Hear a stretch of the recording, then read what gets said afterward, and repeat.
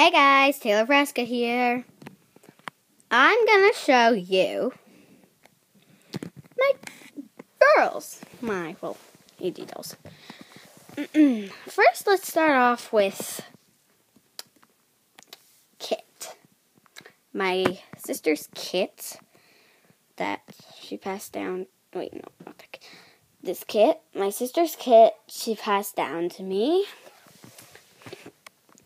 Now, oops. Uh-oh. Okay, sorry. Well,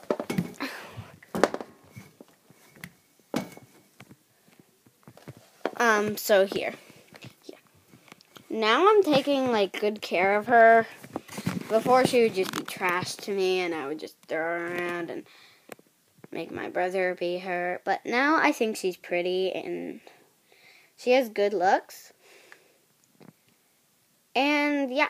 And then now I'm moving on to Kate.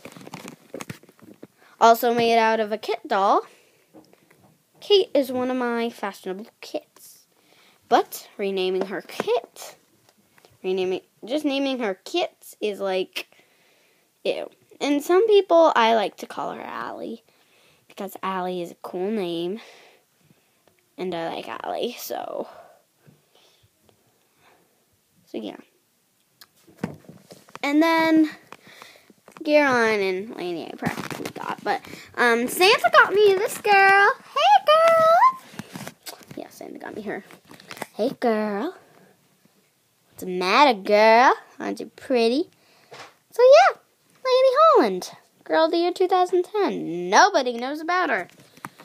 Okay. Then Caroline Abbott. The new historical character. Made in 2012. she's pretty. Oh my god, be quiet. That's from Jeep Doll. And Emily, my final doll made out of an Abby doll.